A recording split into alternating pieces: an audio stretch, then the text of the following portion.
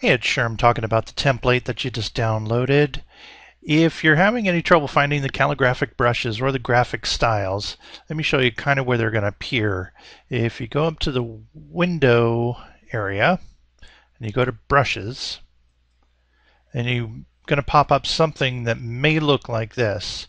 Now if it does, it's a little hard to see the brushes so that you can click on this little sidebar here, click on it and go to list view and when you go to list view, then you can see all of your calligraphic brushes that are included with the template.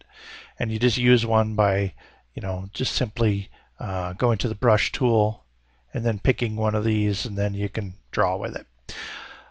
You can tell that these are calligraphic brushes, first of all, from that little symbol there.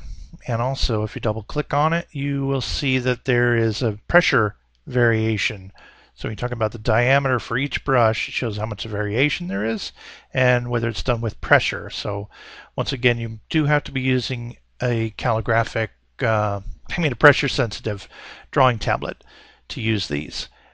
So um, I'm going to click that closed and then go for the graphic styles. I'm also going to go to window and go down to graphic styles. If you get something that like pops up like this, again, go to this little window go to large list view and then you can see the list of all the graphic styles. Now graphic style is something that combines a brush and a fill together. Uh, we talk about it in one of the videos also. So you can just close those anytime you need to. And you can always bring them back by going up to the Windows section. Hope that's helpful for you. We'll see you next time.